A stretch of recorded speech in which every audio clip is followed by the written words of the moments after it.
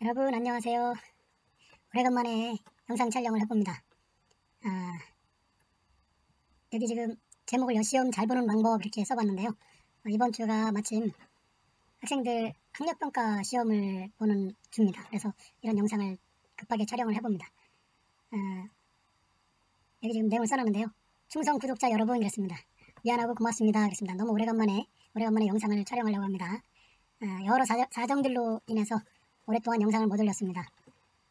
아, 오늘은 여러분들이 어떻게 하면 시험을 잘 볼 수 있을까에 대해서 말씀드리려고 합니다. 여러분들이 시험을 볼때 예, 도움이 되기를 바랍니다. 아, 부제로는요, 한 문제라도 더 맞추려면 이렇게 적어봤습니다. 지금 화면에 보이는 이 이미지는요, 아, 2021학년도 6월 고1 전국연합학력평가 정답 해설 이렇게 써있죠. 1학기 때 보았던 어, 시험 문제 정답을 보면서 좀 확인해 보려고 합니다. 이미 여러분들이 잘 알고 있을 거라고 생각되는데도 불구하고 또 여러분들 시험 보고 나서 답안지를 보다 보면 아, 이게 왜 잘 안 되지 하는 이런 생각을 하게 됩니다.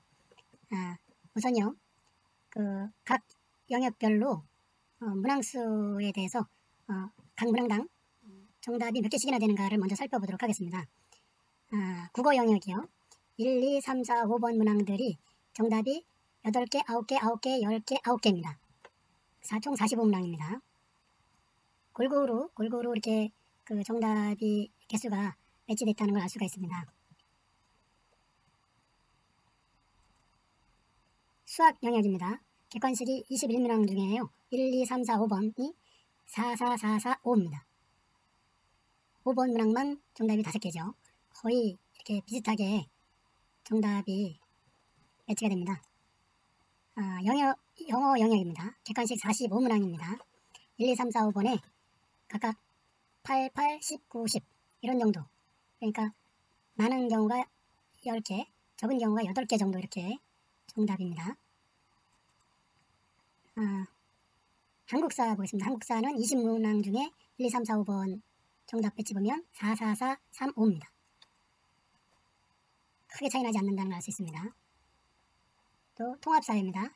1, 2, 3, 4, 5번 20문항 중에 3, 3, 5, 5, 4 이런 정도 되고요.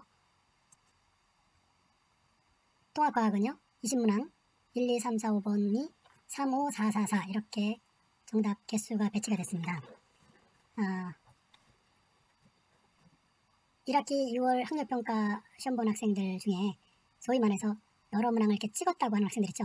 그런 학생들 답안지를 보면 물론 뭐 공부를 열심히 안 해서 그 실제로 맞춘 문항이 많지 않은 있지만 어, 문제 푸른 거에 대해 비해서 정답을 많이 맞춘 이런 학생도 있습니다.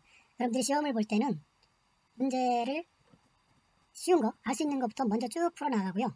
그 다음에 잘 모르겠는 문항들은 그 1, 2, 3, 4, 5번 지금 방금 전처럼 정답 수를 세야 됩니다. 개수를 세서 여러분들이 좀 자신감 있게 푸른 문항에 어디 몇번 문항에 많은가를 보고요.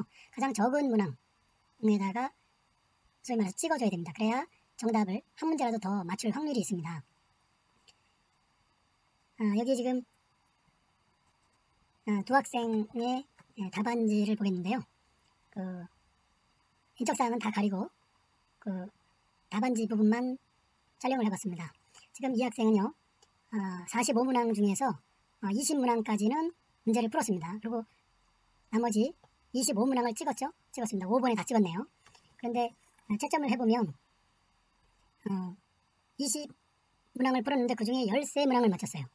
그러면 65% 정도 정답을 맞추고 있는 거거든요.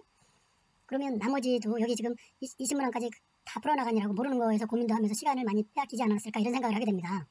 그래서 이렇게 시험을 치르지 말고 하시는 문항 먼저 쭉 풀어나가고 잘 모르겠는 것은 나중에 정답 개수 센 다음에 가장 적은 쪽으로 선택을 해서 찍어주면 더 많이 맞출 수 있다고 생각이 되거든요.